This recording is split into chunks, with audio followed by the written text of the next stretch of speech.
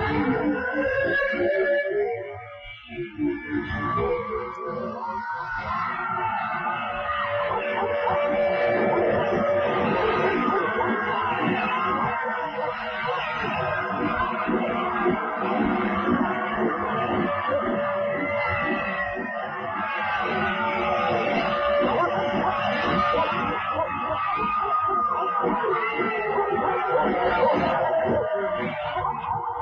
You're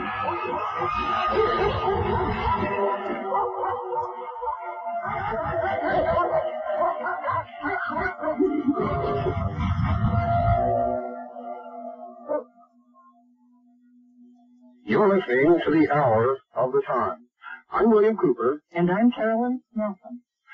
Ladies and gentlemen, tonight you're going to hear another portion of the proof that the government, which calls itself the United States government or the government of the United States of America, that which is constituted within the boundaries of the Federal District of Columbia, is not, in fact, the government of the United States of America. In fact, it is a treasonous, counterfeit, criminal government, an, an impostor government, if you will. They have already destroyed the Constitution of the United States of America. It is a done deal. I am proving that nightly. We began this series last night with the 6 o'clock Mountain Time broadcast, and will continue until we have gone through all of these 400 pages of documented proof that I have in front of me. Any attempt to stop me from broadcasting this information or from publishing this material will be futile. As we have reproduced 100 copies of all of these documents and have placed them in the hands of 100 of our most trusted intelligence operatives around the world. Ladies and gentlemen, the war has been declared upon the citizens of the United States of America. Our nation has been taken from us, and it is a done deal. It is not theory. It's not postulation. It happened a long time ago. I have the proof in front of me, and am disclosing it with every episode of the hour of the time. Make sure you have pen and paper by your side at all times. I expect you to research this information Prove it to yourself, your family, and your friends, and join us in the fight, our legal and national fight, for we have the law on our side. Those who claim to be representing us in government are traitors. The government itself is a counterfeit, illegal, unlawful, and unconstitutional government, and it is a treasonous organization which is in the process of destroying the United States of America to create a one world totalitarian socialist order under the United Nations. It began a long time ago, and those of you who began listening to us with our first broadcast today already are aware of that. Don't go away. I'll be right back.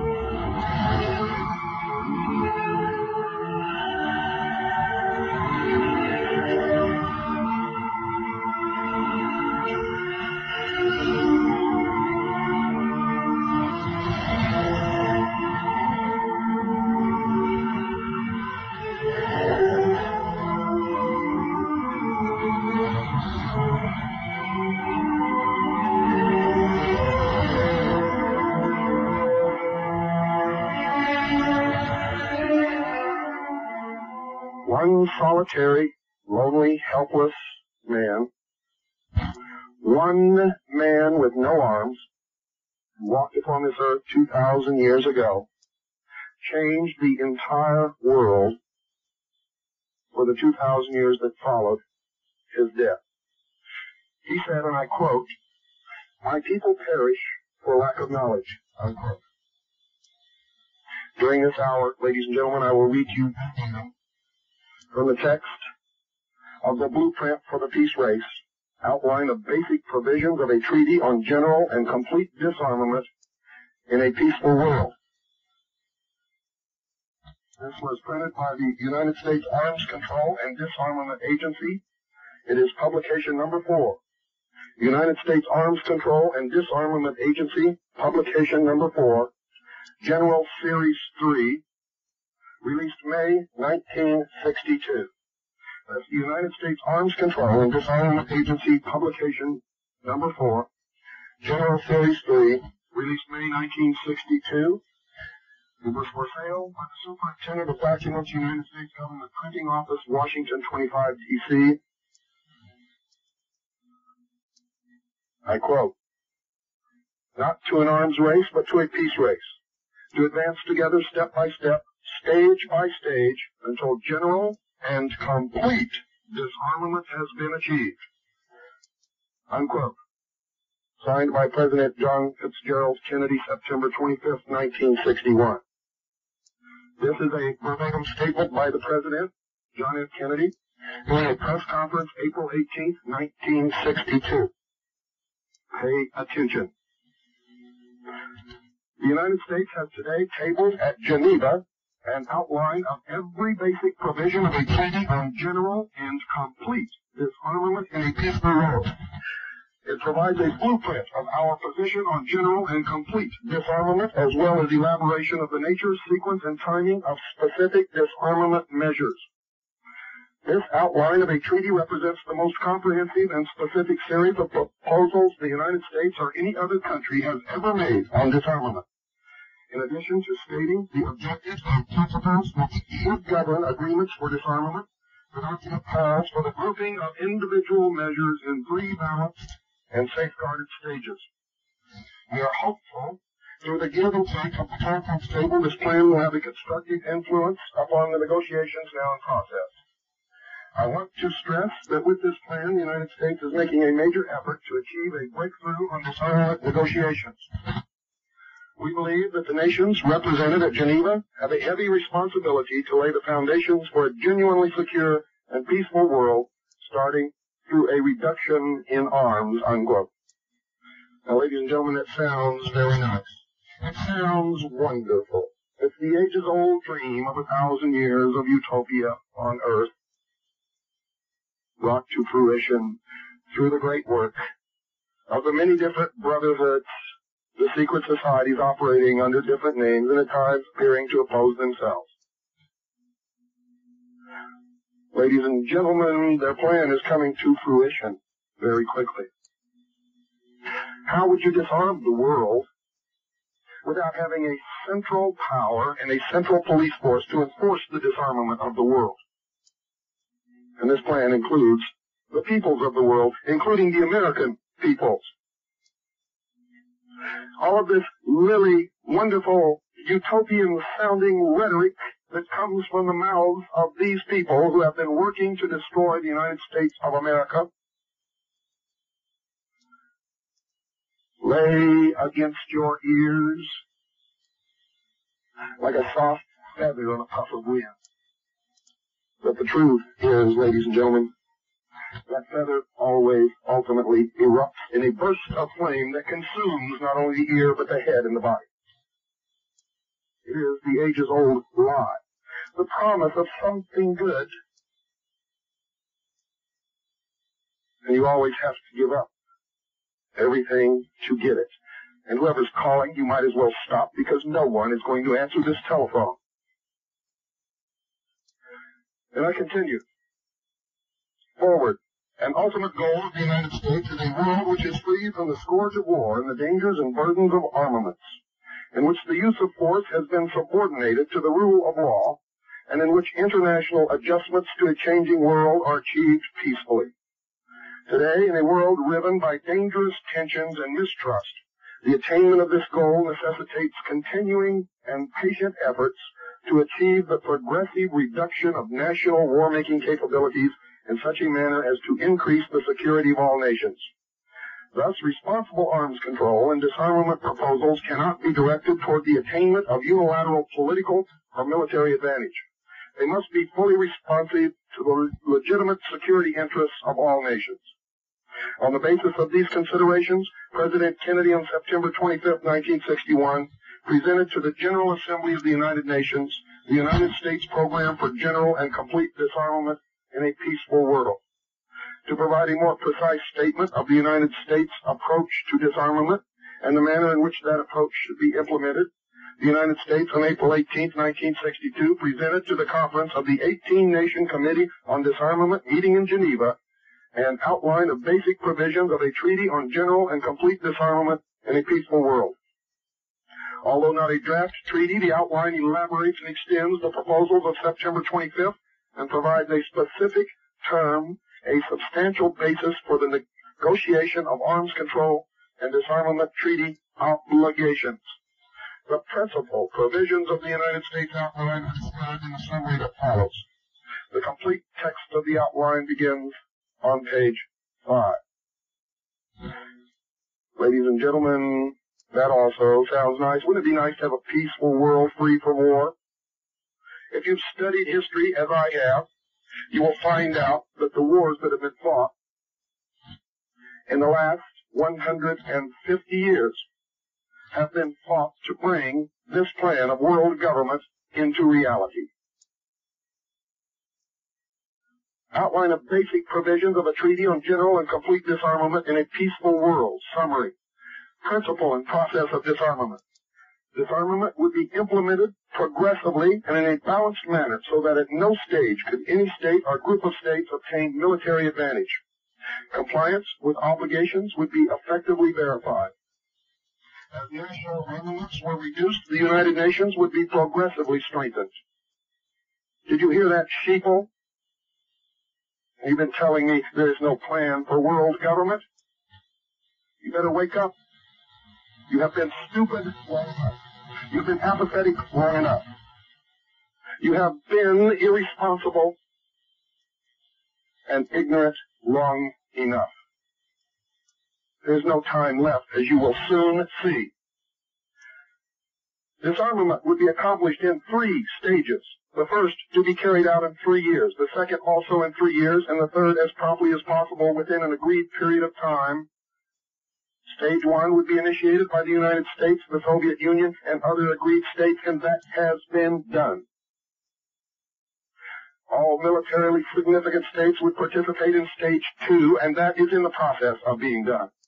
And all states possessing armaments and armed forces in stage three. I'll repeat that. And all states possessing armaments and armed forces in stage three. Transition from one stage of disarmament to the next would take place upon a determination that all undertakings in the preceding stage had been carried out and that all preparations for the next stage had been made. Disarmament measures. Armaments. During stage one, inventories of major categories of both nuclear delivery vehicles and conventional armaments would be reduced by 30%. That has been surpassed. Fixed launching pads would be reduced with associated missiles. That has also been done. Half of the remaining inventories would be eliminated during stage two. That is being accomplished at the present time. And final reductions would be made in stage three. Upon the completion of stage three, states would have at their disposal only agreed types of non-nuclear armaments for forces required to maintain internal order and protect the personal security of citizens. Production of armaments during stage one would be limited to agreed allowances and would be compensated for by the destruction of additional armaments to the end that reductions would not be impaired, and that has been done. In stage two, production of armaments would be halted except for parts for maintenance of retained armaments. Any further production of national armaments would be ended in stage three, except for production of agreed types of non-nuclear armaments for internal forces. Military research, development, and testing would be subject to increasing limitations during this disarmament progress. During stage three, appropriate action would be taken to ensure that new scientific discoveries and technological inventories and inventions of military significance were not used for military purposes. B. Armed Forces. Force levels of the United States and Soviet Union would be reduced to 2.1 million at the end of stage one, and that has been more than accomplished. Half of the remaining forces of these two states would be disbanded during stage two, and that is being accomplished at the present time and in the United States is well ahead of schedule. And final reductions would be made in stage three. Other states would also progressively reduce their force levels. By the end of stage three, states would have at their disposal only those agreed forces and related organizational arrangements required to maintain internal order and protect the personal security of citizens. Notice that the military force of nations is now turned inward and is not to protect from attack from without, but is to maintain internal order. C. Nuclear weapons. Production of fissionable materials for use in nuclear weapons would be halted in stage one and limitations would be imposed on the production of fissionable materials for other purposes. The availability of fissionable materials for use in nuclear weapons would be reduced during stage one and subsequent stages by safeguarded transfers to non-nuclear weapons purposes. That is being accomplished. If nuclear weapons tests had not already been halted under effective international control, arrangements to this end would be undertaken in stage one states which had, which had manufactured nuclear weapons would agree in stage one not to transfer control over nuclear weapons to states which had not manufactured them or to assist such states in their manufacture. States which had not manufactured nuclear weapons would refrain from seeking them. That is being enforced at the present time. Transfers of fissionable materials between states would be limited to peaceful purposes and would be safeguarded, and that is being accomplished at this time. Ladies and gentlemen, President Clinton has proposed to resume nuclear testing, and I make this prediction, not because anyone has told me, not because I'm involved in any of this, but because I know the brotherhoods. If he indeed resumes the testing of nuclear weapons, he will not live to finish out this term.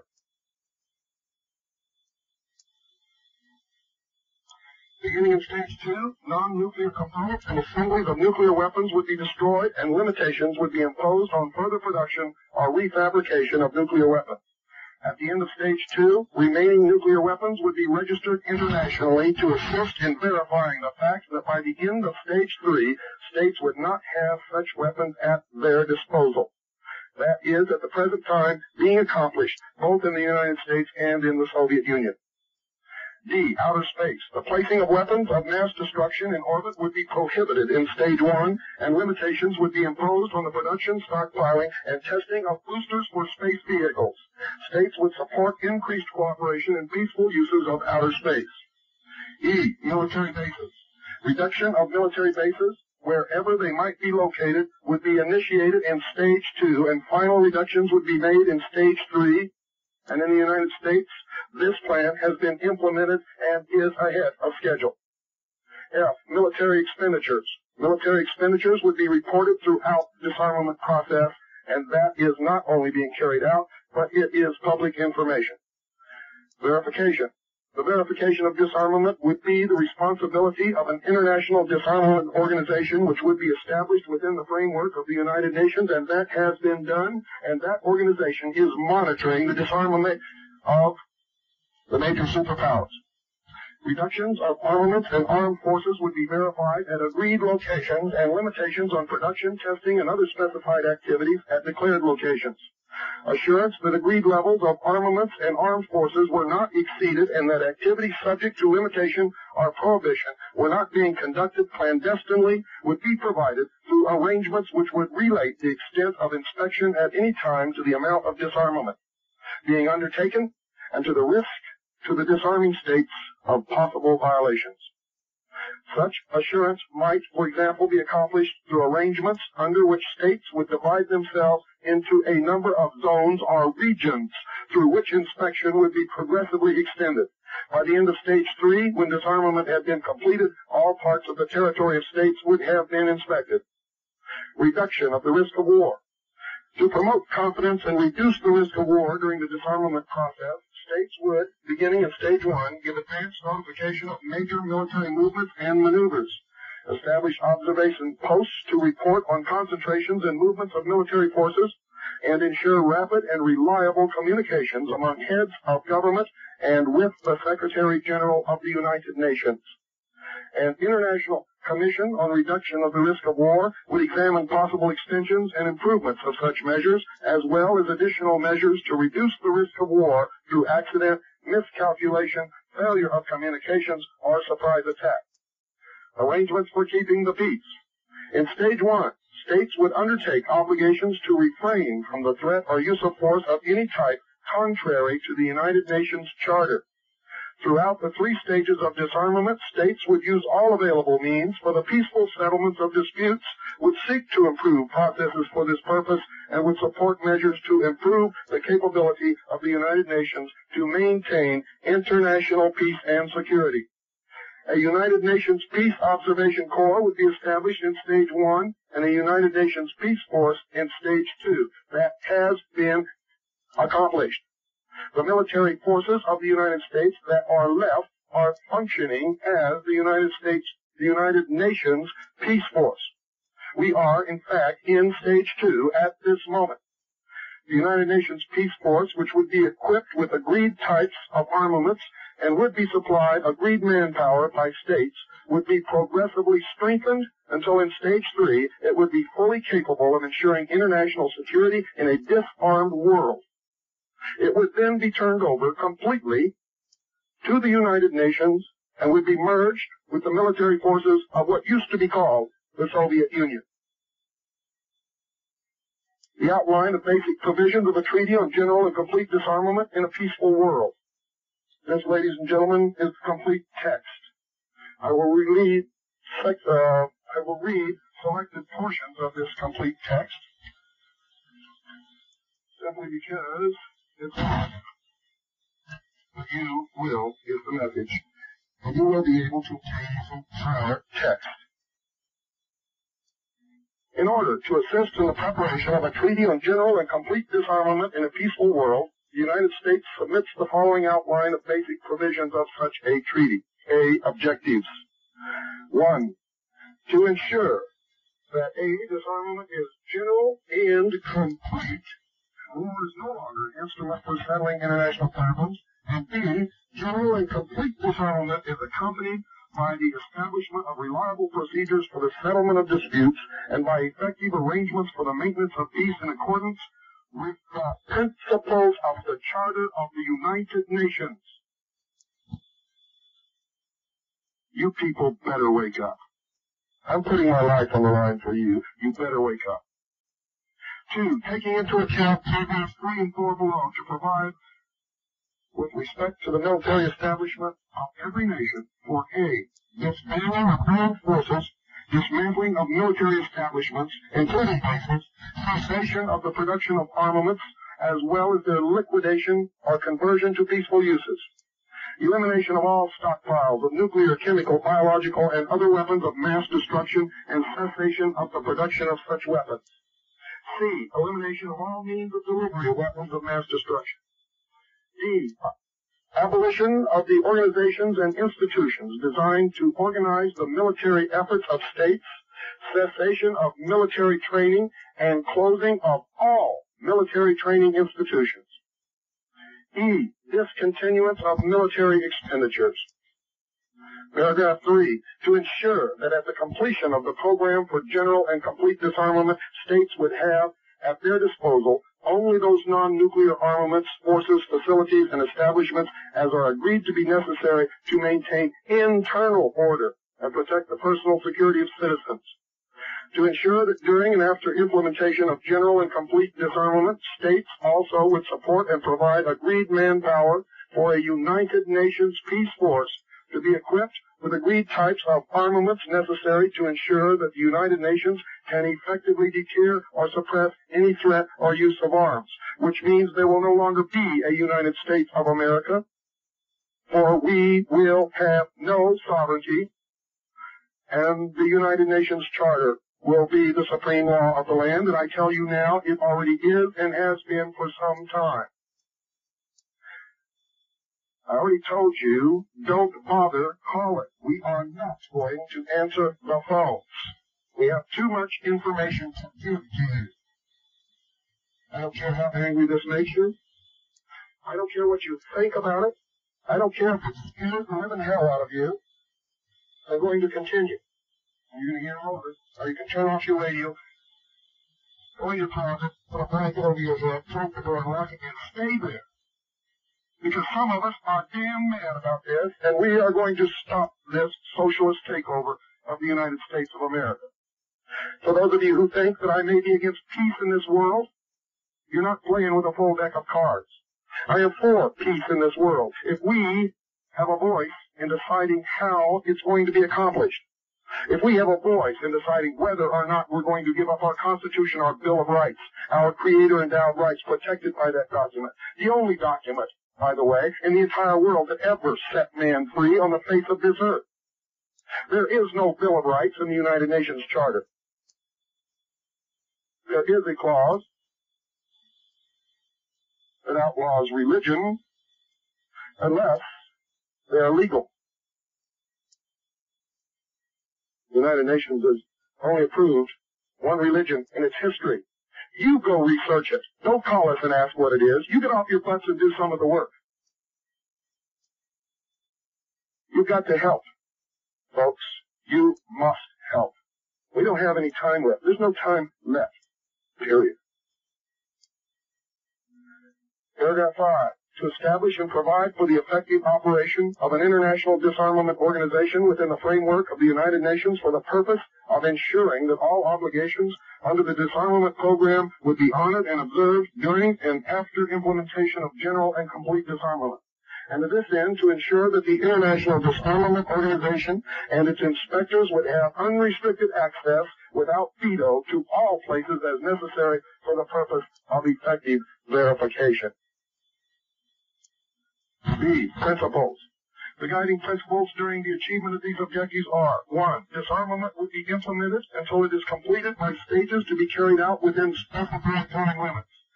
2. Disarmament would be balanced so that at no stage of the implementation of the treaty could any state or group of states gain military advantage, and so that security would be ensured equally for all.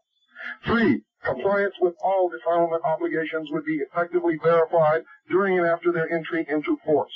Verification arrangements would be instituted progressively as necessary to ensure throughout the disarmament process that agreed levels of armaments and armed forces were not exceeded. For as national armaments are reduced, the United Nations would be progressively strengthened in order to improve its capacity to ensure international security and the peaceful settlement of differences as well as to facilitate the development of international cooperation in common cause for the benefit of mankind.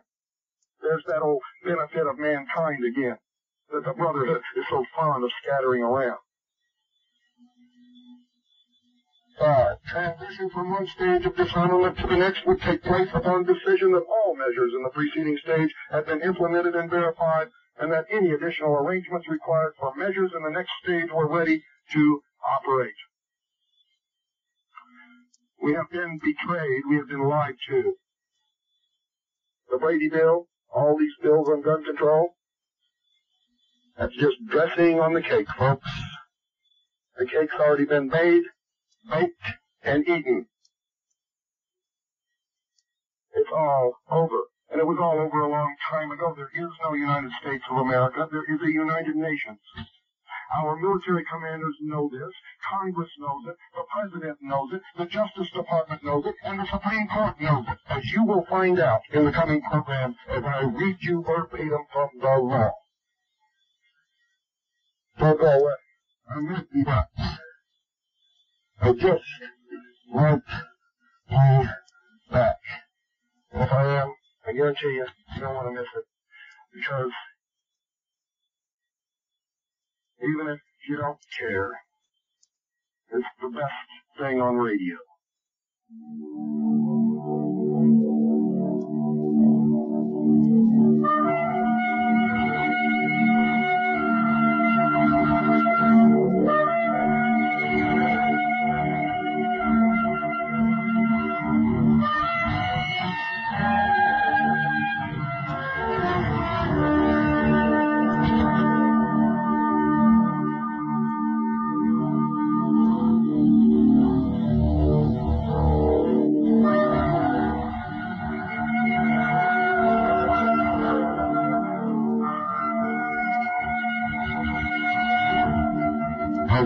Episode of the Hour of the Time reveals more of this absolute proof of the treason and the traitors who are destroying this nation and bringing about a railroad preparatory socialist government ought to be taking stock in your corporations. You need two years supply of food, which we used to furnish at the cheapest price in the entire country. We no longer do that because we have a federal law. You took advantage of it. You'll have to go somewhere else, but you must do it. Regardless of where you get it, you must do it. You need two years supply of fresh, clean water, and you must be able to keep it fresh and clean. You need to take stock of your first aid supplies. You need to take stock of all emergency equipment, batteries, generators, anything that you can possibly foresee that you could need if there were a total economic and societal breakdown in this country. If there were a civil war. Because I guarantee you, ladies and gentlemen, based upon what I have in front of me, there will be. Not because I say so, not because I want one. It's always been our purpose to try to prevent it, but I'm telling you now, it's too late. It's going to happen. Because you were too slow in waking up. It's beyond accomplishing the restoration of the Constitution by any political means, I can assure you.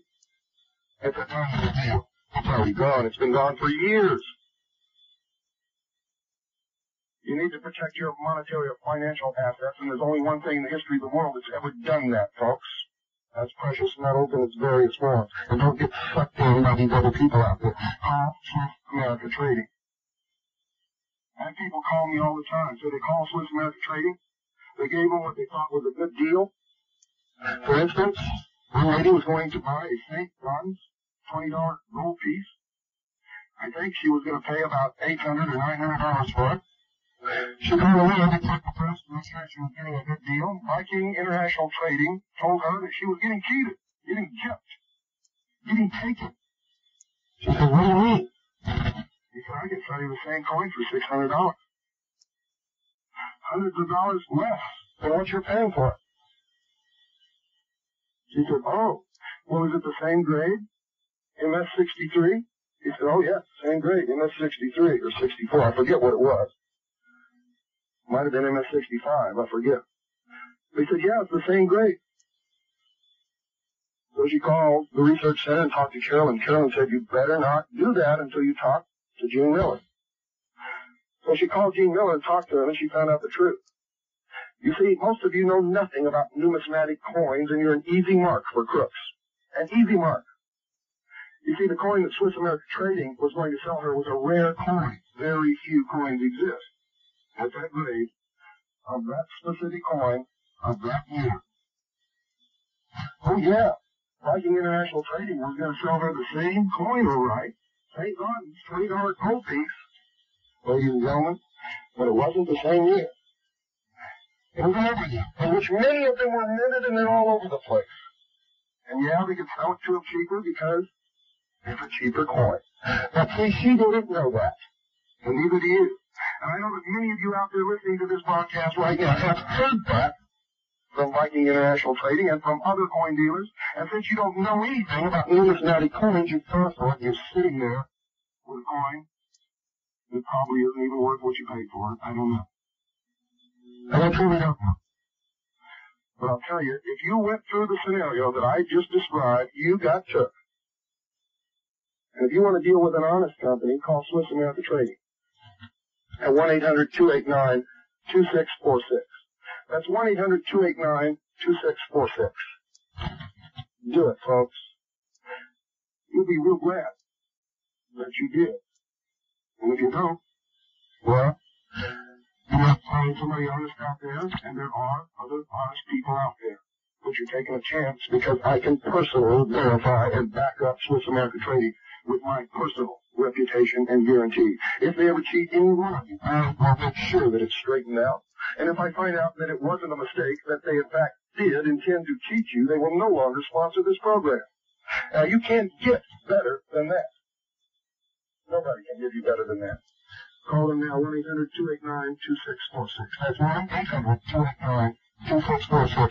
You'll be glad that you did.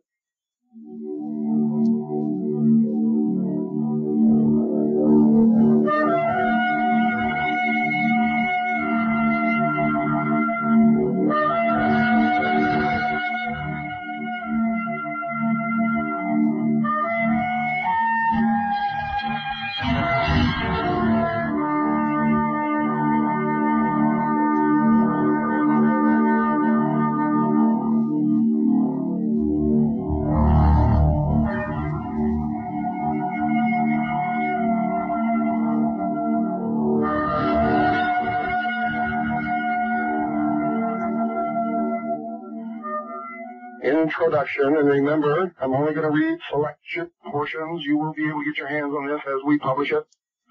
And even if we don't publish it, if you're your research, you will find your own copy without having to go through with us, and then you'll know that we did not make this up, and that's the way that I prefer that you do it.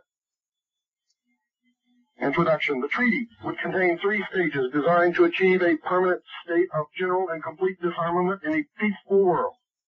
The treaty would enter into force upon the signature and ratification of the United States of America. Do you hear that, folks? The treaty would enter into force upon the signature and ratification of the United States of America. That was done a long time ago. The Union of Soviet Socialist Republics was done a long time ago, and such other states as might be agreed. Stage two would begin when all militarily significant states had become parties to the treaty and other transition requirements had been satisfied.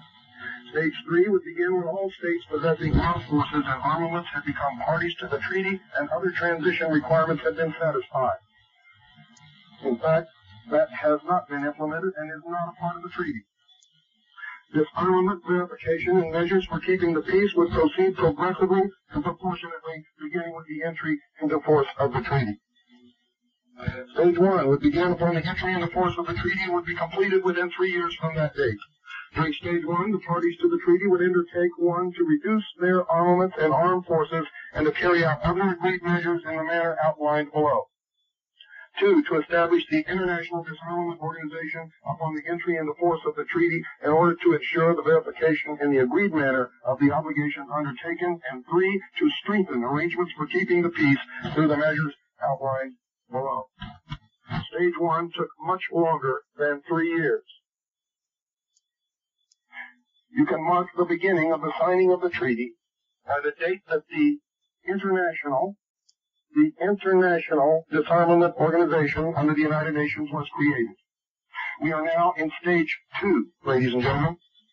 Armaments, reduction of armaments. Specified parties to the treaty as the first stage toward general and complete disarmament in a peaceful world would reduce by 30% the armaments in each category listed in subparagraph B below, except as adjustments for production would be permitted in stage one in accordance with paragraph three below. Each type of armament in the categories listed in subparagraph B will be reduced by 30% of the inventory existing at an agreed date. That has been accomplished. I'm going to skip a little bit now.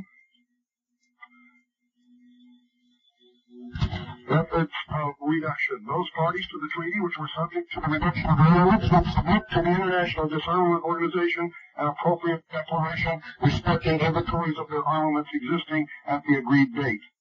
We have here members of the International Disarmament Organization visiting uh, arsenals and manufacturing facilities in the United States for several years now. B, the reduction would be accomplished in three steps, each consisting of one year. One third of the reduction to be made during stage one would be carried out during each step. During the first part of each step, one third of the armaments to be eliminated during stage one will be placed in depots under supervision of the International Disarmament Organization. During the second part of each step, the deposited armaments would be destroyed or, where appropriate, converted to peaceful uses. That has been done. In accordance with arrangements which would be set forth in a treaty annex on verification, the International Disarmament Organization would verify the foregoing reduction and would provide assurance that retained armaments did not exceed agreed levels. That's been done. Let me skip over to something.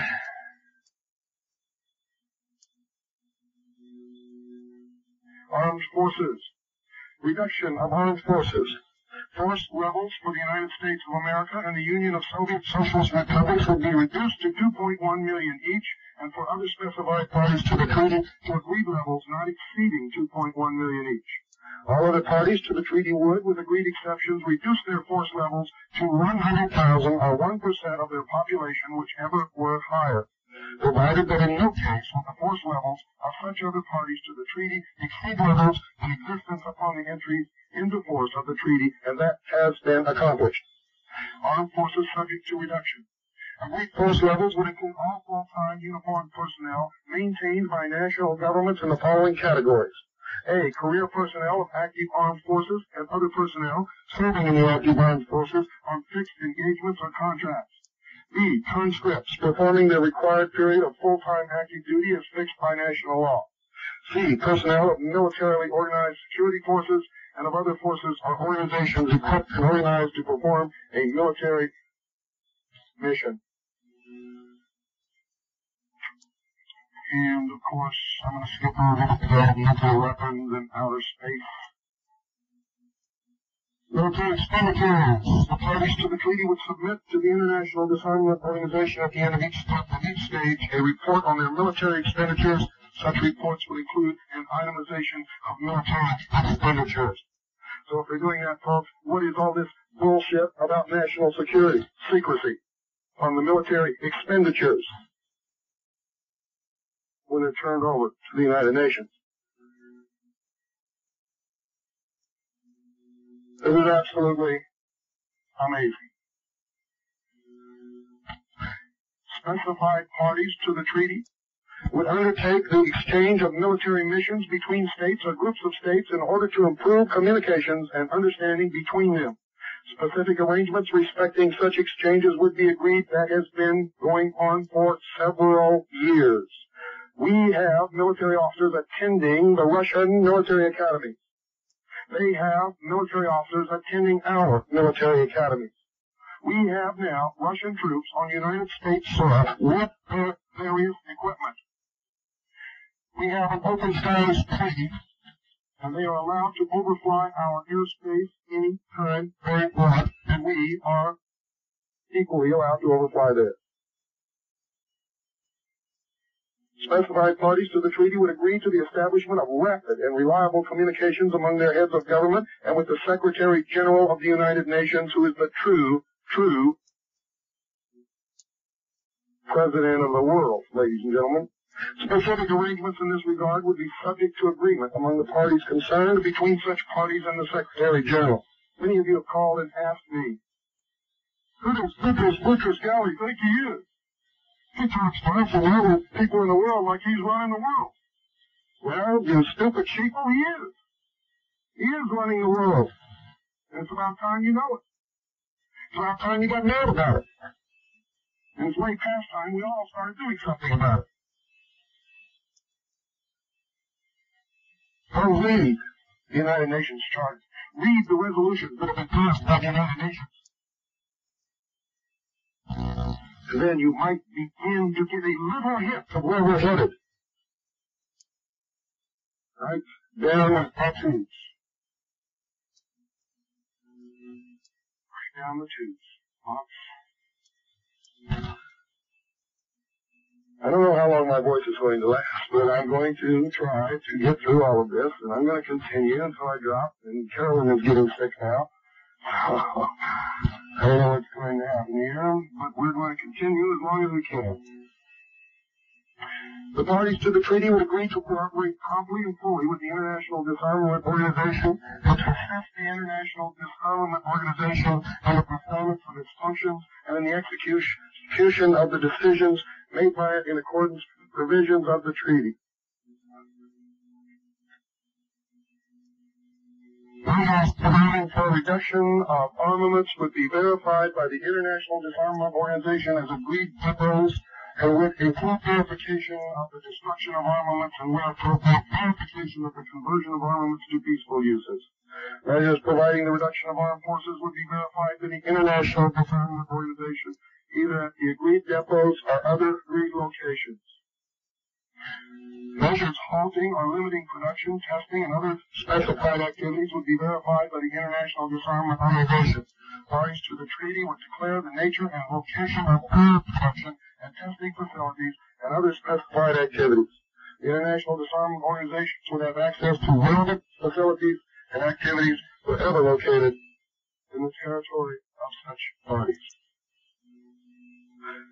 down the page, uh, all parts, of the three of those parties to the treaty to which this form of verification would be subject to selection for inspection from the beginning of stage one as provided. Whereas in the treaty would divide their territory into an agreed number of appropriate zones and at the beginning of each step of disarmament would submit to the International Disarmament Organization a declaration stating the total level of armaments, forces, and specified types of activities subject to verification within each zone. The exact location of and forces within a zone would not be revealed prior to its selection for inspection. That's why, and gentlemen, the United States has been divided into regions. Both aerial and mobile ground inspection would be employed within the zone being inspected. Access within the zone would be free and unimpeded, and verification would be carried out with the full cooperation of the state being inspected. Once the zone had been inspected, it would remain open for further inspection while verification was being extended to additional zones. By the end of stage three, when all disarmament measures had been completed, inspection would have been extended to all parts of the territory of parties to the treaty. Told you, folks, to done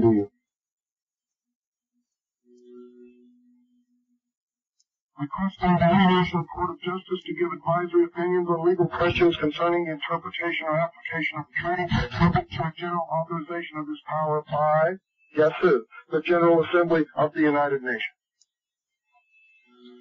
Requesting the International Court of Justice to give advisory opinions on legal questions concerning the interpretation or application of the treaty, subject to a general authorization of this power by the General Assembly of the United Nations. And it continues, and it continues, and it continues, and it includes all nations, all military forces, and all peoples, including you. It was done years ago, ladies and gentlemen. Years ago. And let me see if there's anything else here that you need to hear right off the bat. Um, yes, here we go. United Nations Peace Force. The parties to the treaty would undertake to develop arrangements during stage one for the establishment in stage two of the United Nations Peace Force. To this end, the parties to the treaty would agree on the following measures within the United Nations. Examination of the experience of the United Nations leading to a further strengthening of the United Nations forces for keeping the peace. The examination of the feasibility of conducting, including promptly, the agreements envisioned in Article 43 of the United Nations Charter. I want you all to look at the United Nations Charter and read Article 43. Then, when you have sufficiently recovered, stay tuned for the next hour of the time. Conclusion of an agreement for the establishment of the United Nations Peace Force in Stage 2, including definitions of its purpose, mission, composition, and strength, disposition, command and control, training, logistical support, financing, equipment, and armaments. United Nations Peace Observation Corps. The parties to the treaty would agree to support the establishment within the United Nations of a peace observation corps staffed with a standing cadre of observers who could be dispatched promptly to investigate any situation which might constitute a threat to or breach of the peace. Elements of the Peace Observation Corps should also be stationed in appropriate and selected areas throughout the world. If upon the expiration of such period or period, that's after group one, stage one, two, and three is passed, one or more of the permanent members of the Control Council should declare that the foregoing circumstances did not exist, the question would be placed before a special session of the Security Council transition to stage two would take place upon a determination by the Security Council that the foregoing circumstances did in fact exist.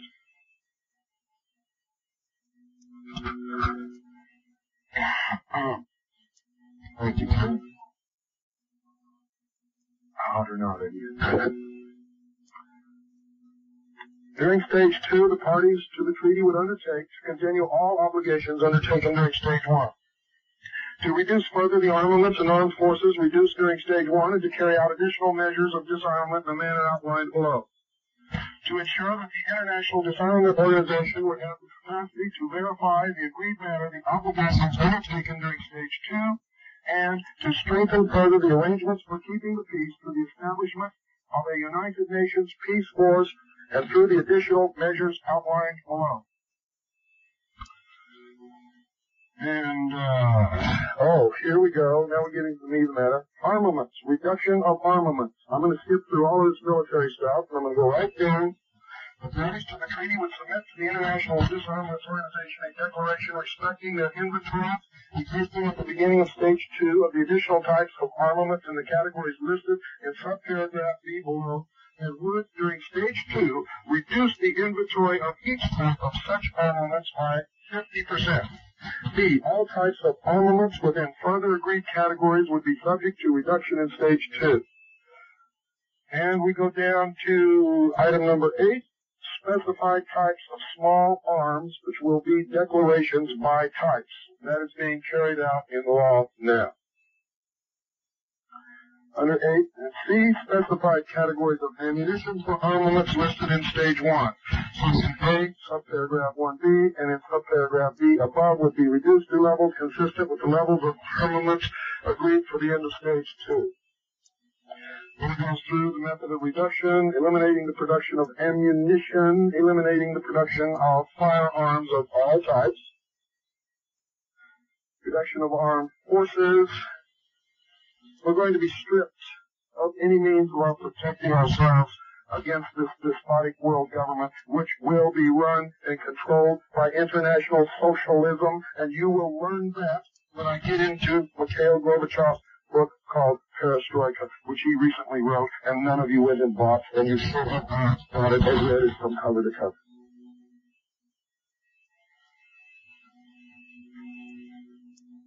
Military bases and facilities. The parties to the treaty would dismantle or convert to peaceful uses agreed military bases and facilities wherever they might be located. We have not only ordered dismantle or convert to peaceful uses many, many other military bases throughout this country, but we gave one to Mikhail Gorbachev in Presidio in San Francisco, and he is sitting there now laughing at us. It is the headquarters of the Gorbachev Foundation. You know what the goal of the Gorbachev Foundation is? Eh? oh, the dear people. If you only knew, if I could just shake you and wake you up. If I could just do something to make you understand what it is that we're losing. If we were given a hand in it, we were allowed to participate and debate and help form what is coming, we might be able to create something good. Just the fact that it is being brought about through lies and deception and manipulation and the death of many, many good people around the world tells me that there's nothing good about it. In fact, it smells so bad I can smell the stench right here in our studios under the clear, beautiful blue Arizona sky. It's rotten. The people who are bringing about it are liars and deceivers. They are rotten. Remember, remember, Jesus Christ is the truth, the way, and the life. There is a God, and is God that you should pray to.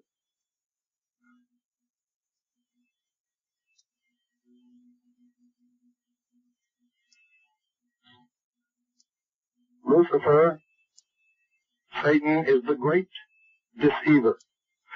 Anything born from so many lies and so much deception and so much manipulation is born of.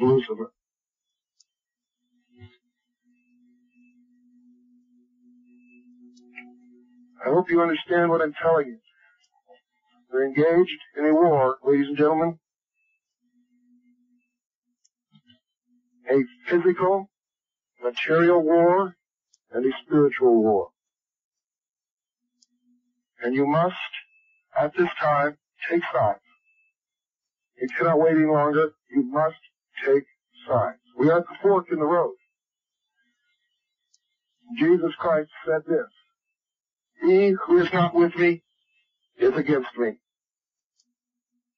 Good night. and God bless you all. Amen.